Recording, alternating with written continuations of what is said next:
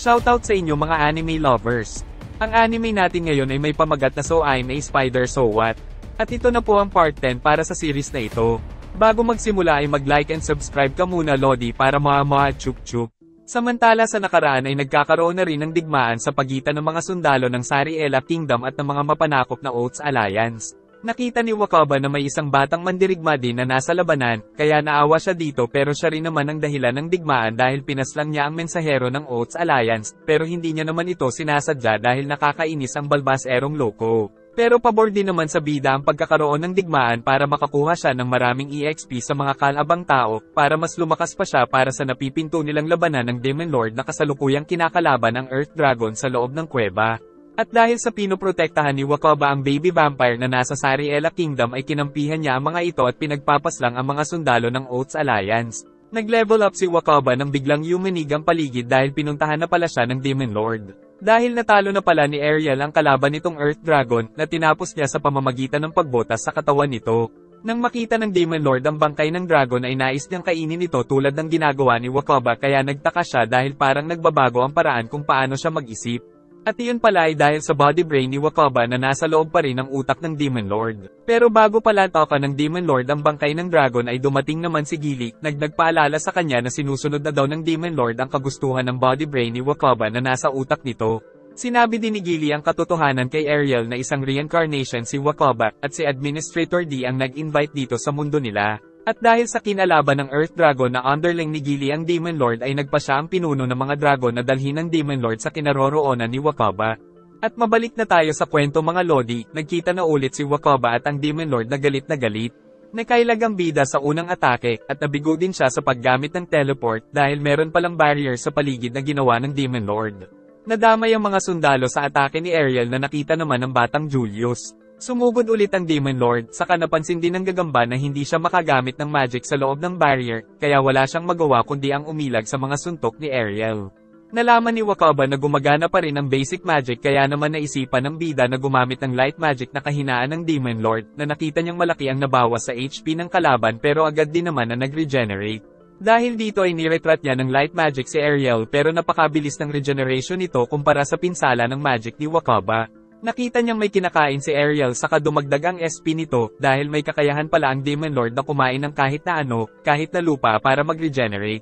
Sa isang iglap ay nasapol ang bida kaya tumalsik siya at nagpaikot-ikot ng parang bola pero nakakuha naman siya ng EXP sa mga nataman ng mga tao kaya nakapag-heal dahil nag-level up.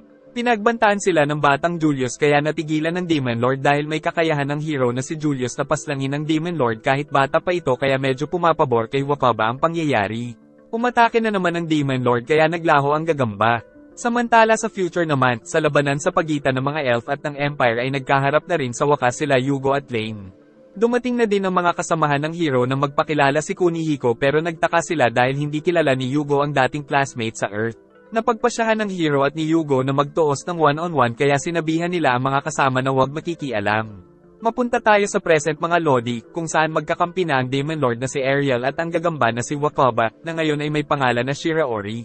Plano ng Demon Lord na paslangin si Potimas na chief ng mga elf, pero nakikita ni Potimas ang lahat ng mga kilos ng kalaban gamit ang mga screen saka ipinag-utos pa ng chief na papuntahin na lahat ng mga sundalo nila sa battlefield. Kasalukuyang nagaganap ang one-on-one battle ng hero at ng fake hero na si Yugo. Dikitang laban nila sa close combat pero napapansin ng mga kasama ng hero na lumalamang na sa laban si Lane. Napaupo si Yugo at sinubukang gumamit ng magic pero walang obra sa hero dahil nagkaroon ito ng dragon power nang malastrit niya ang Earth Dragon sa loob ng kuweba. Ayaw sumuko ni Yugo kahit na hindi siya makatama sa hero kaya napatalsik ni Lane ang sword niya at saka sinikmuraan ng fake na hero. Humingi ng tulong si Yugo kay Sofia na paslangin ang lahat ng mga kalaban nila, pero ayaw siyang tulungan ng kakampi dahil sinabi ni Yugo kanina na wag daw itong mangingialam sa laban niya, at saka wala na daw pakinabang sa kanya ngayon si Yugo. Lumabas si Merizofes para mag-report tungkol sa posisyon ng mga kampa nila na nakilala ni Kunihiko na isang commander pala ng 4th Demon Army Corps, kaya nalaman ni Lane na nagtatrabaho sa mga demon si Sofia. Napagtanto na ni Yugo na ginamit lang siya ni Sofia, kaya kailangan nilang pigilan ang vampire. Sumugod ang hero kay Sofia, na naglabas din ng sandata mula sa lupa kaya napatalsik si Lane. Sumugod ulit ang hero pero malaki talaga ang agwat ng kapangyarihan nila, kaya nagpa siya ang lahat ng mga kakampi na pagtulungan ng napakalakas na vampire. Samantalang sila Asaka at Kunihiko naman ang humarap kay Merizofes. Kahit na 6 on 1 ang labanan ay kumpiyansa pa rin si Sofia sa kakayahan. Pinagtulungan ng magkakasama ang overpowered na vampire pero isa-isa sila nitong pinatumba. Malakas pa rin ang loob ng hero nang sabihin ni Sofia na pinili nitong huwag silang paslangin dahil sa ipinag-utos ng master niya na huwag daw siyang papaslang ng mga reincarnation kaya sinasalag niya lang ang atake nila. Pero dahil hindi reincarnation si Ana ay pwede niya itong paslangin kaya sumugod ang hero para libangin at mapa-atras ang vampire papunta sa mga palaso ni Oka pero tinadyakan lang siya nito dahil ang pakay lang daw ng demon army ay ang ubusin ng lahi ng mga elf. Biglang gumamit ng kapangyarihan si Katya, na sinamantala naman ng hero pero nasalag pa rin ng vampire saka tinadyakan ulit si Lane. Dahil sa nangyayari ay napagpasyahan ni Faye na sumuko na lang para maligtas ang lahat ng mga kasamahan, na sinang ayuna naman ni Sofia dahil pinagbabawalan siya ng master niya na kumitil ng buhay ng reincarnations. Saka natalo naman nila Asaka at Kunihiko ang 4th Commander.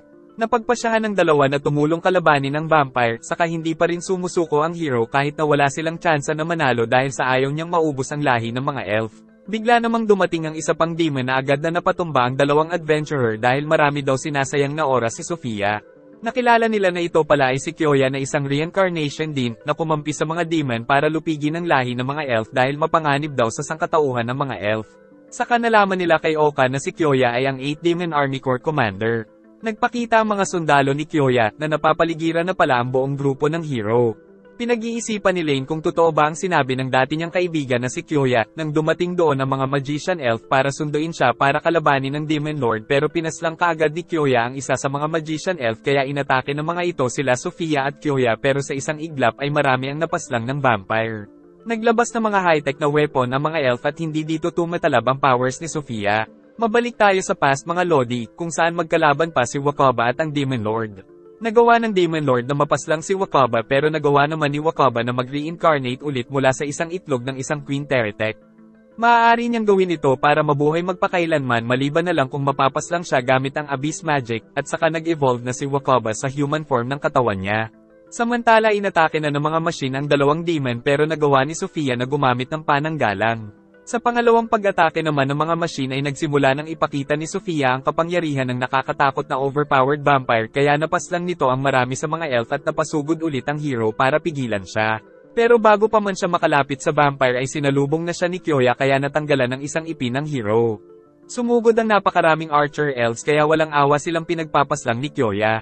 Pagkatapos ay pinuntahan ni Kyoya ang hero na sinubukan namang protektahan ng dalawang kaibigan pero tombe sila kagad. Patutulugin na sana ni Kyoya ang hero nang biglang humarang si Ana para iligtas ang kaibigan. Hindi raw nais na pumis lang ni Kyoya pero si Ana ang naglagay sa sarili sa panganib, kaya bago patuluyang mamaalam si Ana ay ginamitan na ito ng heal ng hero. Dahil sa paggamit ng magic ay nag-level 10 ang tabo skill ni Lane, kaya may nalaman siyang mga impormasyon at sumakit ang ulo. Samantala nais na paslangin ni Yugo si Sofia dahil sa ginawa lang siya nitong uto-uto, pero malakas ang vampira sa kabiglang nakatulog si Yugo dahil ginamitan ito ng magic ng master ni Sofia. Nagulat naman ang mga kapwa reincarnation nang makita nila na ang tinutukoy palang master ni Sofia ay si Wakaba na ngayon ay may pangalan na Nashira Ori.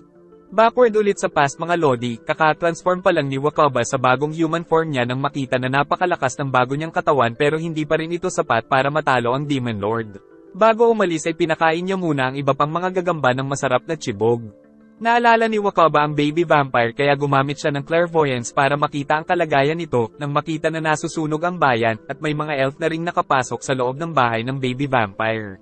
Dahil dito ay napagpasyahan ng pinuno na patakasan ng mag-ina nito kasama ang katiwala nila, pero sinugod na sila ng mga elf saka pinaulanan ng bala si Merizophes. Bago pa sila tapusin ng mga elf ay kinagat ni Sofia si Merizophes, kaya naging isang vampire din ito at lumaban mag-isa sa mga elf, pero dumating si Potimas kaya bagsak ang bagong convert na vampire. Pero sa kabila nito ay handa pa ring ialay ni Merizophes ang buhay para sa anak ng master niya. Bago pa magamitan ni Potimas ng magic ang dalawang vampire ay dumating naman si Wakaba para iligtas sila mula sa mga elf. Pinagaling din ni Wakaba si Merizophes dahil nakita niyang nasa bingit na ito ng kamatayan.